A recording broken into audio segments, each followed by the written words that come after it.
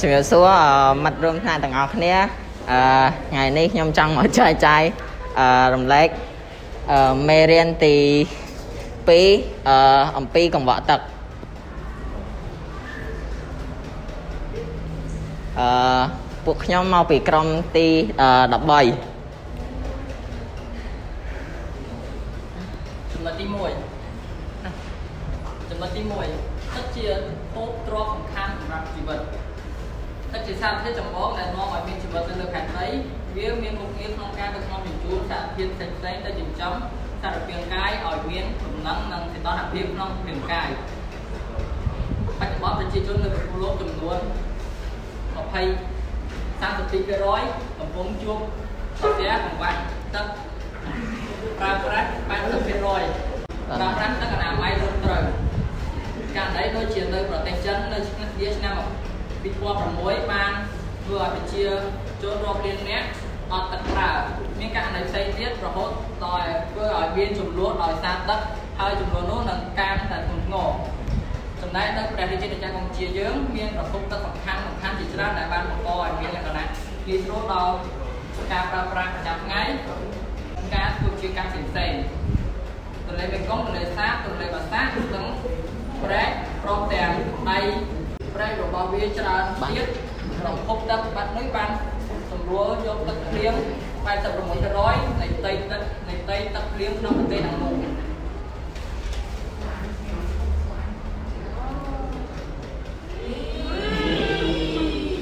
ពីរប្រភពនៃការ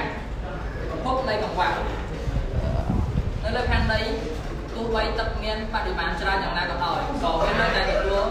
ការគម្រាមកំហែងពីការកង្វះទឹកដែរជាមួយនេះធនធានទឹកកំពុងតែការបំពុលរងការបំពុលដោយសំណល់ឧស្សាហកម្មទឹកភ្លូកាកសំណល់គីមីនិងសារធាតុចិញ្ចឹមលំហូរកសកម្មនៅមានកង្វះទឹកផ្សេងទៀតដែលកសកម្មជីវកម្មនិងភោជនីយដ្ឋានដែល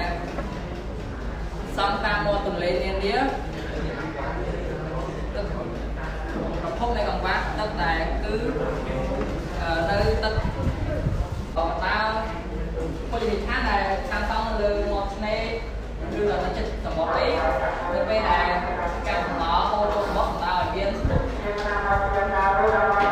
មេរោគរាតត្បាតដូចជាជំងឺផ្សេងផ្សេងបង្ហូរទឹកអុយនិងប្រព័ន្ធចែកចាយទឹកស្អាតរបបរបរលាយចូលគ្នាជាទូទៅការប្រើប្រាស់ទឹកកសិកម្មកសិករមិនបាន យល់ដឹងអំពីវិធីប្រើពីបរិមាណនៅពេលវេលាត្រូវដាក់ជីសម្រាប់ប្រភេទដោយជាផ្សេងទៀតទេ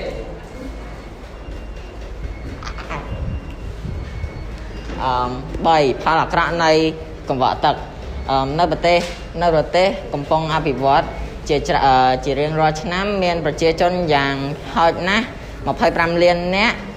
ដែលក្នុងនោះ60%ជាកុមារដែលត្រូវស្លាប់ដោយសារការប្រើប្រាស់ទឹកមិនស្អាត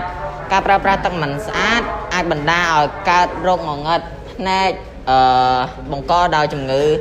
ត្រាកោមជំងឺគ្រុនពោះវៀនគ្រុនចាញ់អាសន្នរោគថ្លើមអឺដោយសារអឺដោយសារប៉ារ៉ាស៊ីតម្យ៉ាងឈ្មោះការចាក់កាកសំណល់ដែលមានជាតិពុល ចូលទៅក្នុងទន្លេដូចជាទន្លេទន្លេរាំងនៅប្រទេសអាល្លឺម៉ង់ទន្លេអឺកុងកុងកុងរៀនៅប្រទេសឥណ្ឌានិងទន្លេចៅប្រាស់អឺចៅប្រាយ៉ានៅប្រទេសថៃដូចនេះកាកសំណល់ដែលបោះចោលទៅក្នុងទឹកធ្វើឲ្យទឹកអឺកខ្វក់ខូចប្រព័ន្ធអឺបរិស្ថានធម្មជាតិហើយវានឹងបណ្ដាលឲ្យកើតជាជំងឺផ្សេងផ្សេងអឺ ដូចជាជំងឺរាតត្បាតនិងជំងឺឆ្លងដោយប៉ារ៉ាស៊ីត4ការត្រួតពិនិត្យអឺការត្រួតពិនិត្យកង្វក់ទឹកបច្ចុប្បន្ននេះប្រព័ន្ធប្រព័ន្ធលូទាំងឡាយត្រូវបានគេរៀបចំអឺជាថ្មីដើម្បីដើម្បីរំដោះទឹកចេញពីតំបន់មួយចំនួនដែលលិចលង់ខ្លាំងខ្លាំងខ្លាំងនាពេលកន្លងមកនៅក្រុងភ្នំពេញអឺពិសេសប្រព័ន្ធប្រព័ន្ធលូ អឺទាំងនោះមានអាងចម្រោះ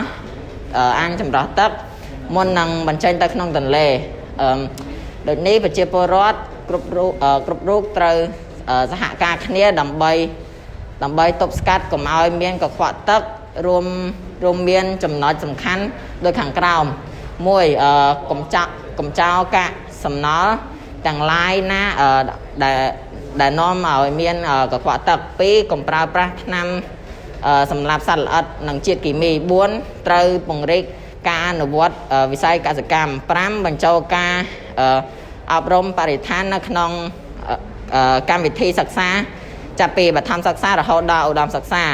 6ក្រសួងបរិស្ថានត្រូវបើកវគ្គបំពន់មន្ត្រីជំនាញស្ដីពីកង្វក់ទឹកនៅប្រទេសកម្ពុជា7អឺក្រសួងបរិស្ថានត្រួតមានអឺឧប ឧបករណ៍វិភាគជាតិពុលដែលមាននៅក្នុងទឹក